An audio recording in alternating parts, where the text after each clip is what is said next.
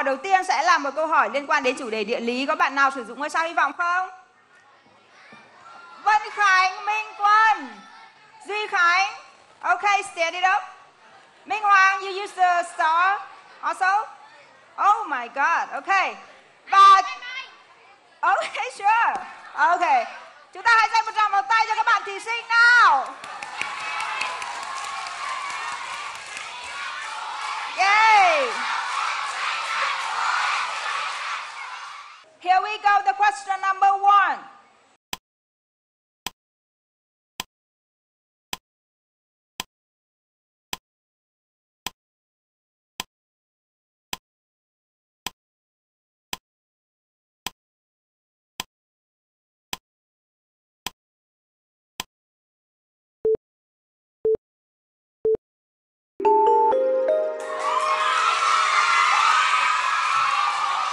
Vâng.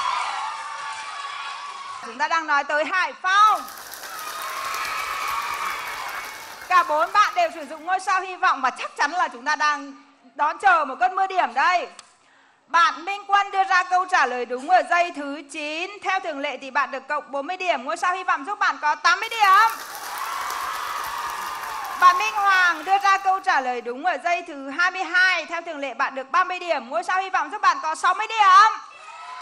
Bạn Duy Khánh đưa ra câu trả lời đúng ở giây thứ 16. Theo thường lệ bạn có 30 điểm. Ngôi sao hy vọng giúp bạn có 60 điểm. Và Vân Khánh, Vân Khánh đưa ra câu trả lời đúng ở giây thứ 15. Theo thường lệ bạn được 40 điểm và ngôi sao hy vọng giúp bạn có 80 điểm. Tất cả các bạn thí sinh đều đã sử dụng một lượt ngôi sao hy vọng rồi. Bây giờ Câu hỏi thứ hai là một câu hỏi liên quan đến chủ đề lịch sử. Có bạn nào sử dụng ngôi sao hy vọng không?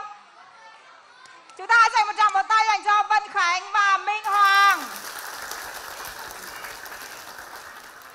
Có vẻ như là có vẻ như là các bạn thí sinh có một hội đồng cố vấn chuyên về ngôi sao hy vọng ngồi ở dưới.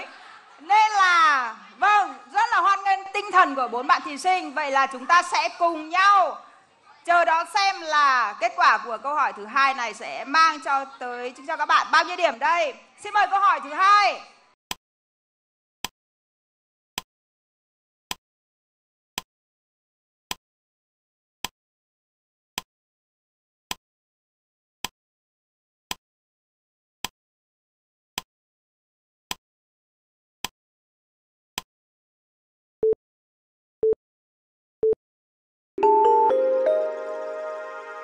Ta đang nói tới chùa một cột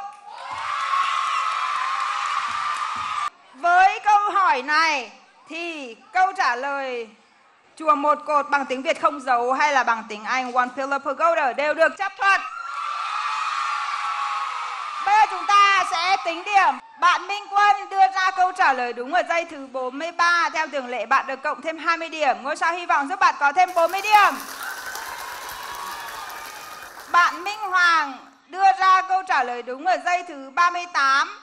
Theo thường lệ, bạn được cộng thêm 20 điểm và ngôi sao hy vọng giúp bạn có thêm 40 điểm.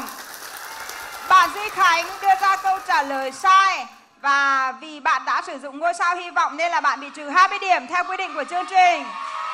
Và bạn Vân Khánh đưa ra câu trả lời đúng ở giây thứ 26. Theo thường lệ thì bạn cộng thêm được 30 điểm. Ngôi sao hy vọng giúp bạn có thêm 60 điểm.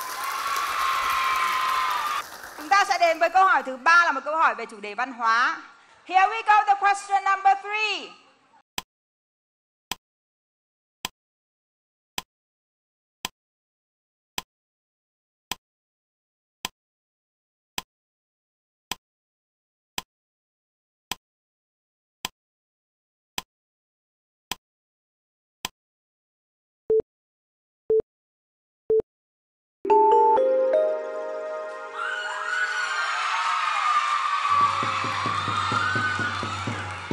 Chúng ta đang nói tới ví dặm.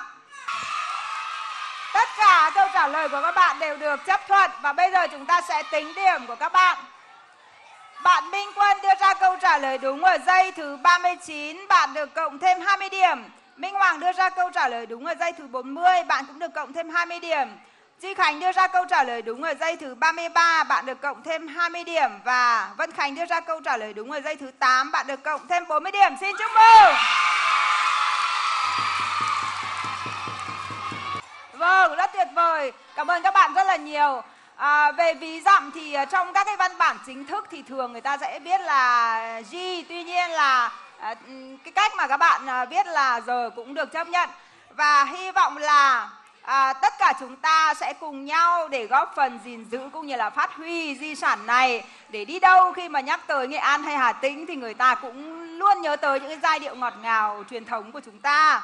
Bây giờ chúng ta sẽ đến với câu hỏi thứ tư là một câu hỏi về chủ đề khoa học. Here we go, the question number four.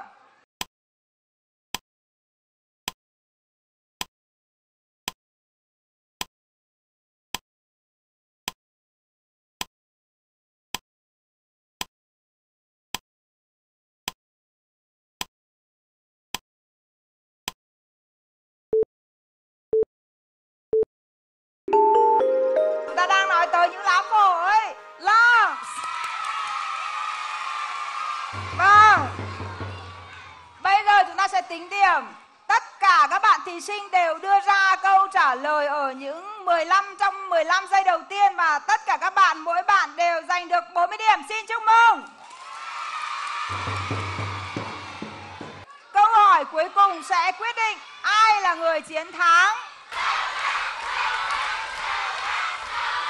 Cảm ơn các bạn rất nhiều. Cảm ơn các bạn rất nhiều. À, chị Hoàng Yến vẫn như muốn nổ tung bởi không khí thật là tuyệt vời này và bây giờ chúng ta hãy để dành để dành một ít phút nữa thôi chúng ta sẽ cùng nhau bùng nổ ở câu hỏi sau câu hỏi cuối cùng được không ạ? So are you ready to go? Okay. Here we go the question number five.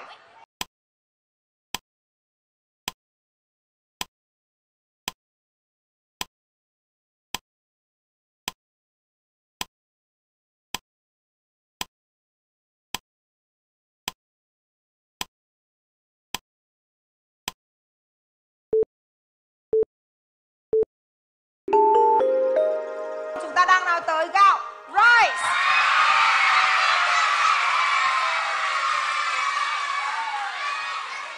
Bạn Minh Quân đưa ra câu trả lời sai ở giây thứ 15, bạn bị trừ 5 điểm. Minh Hoàng đưa ra câu trả lời đúng ở giây thứ 41, bạn được cộng thêm 20 điểm. Duy Khánh đưa ra câu trả lời đúng ở giây thứ 33, bạn cũng được cộng thêm 20 điểm.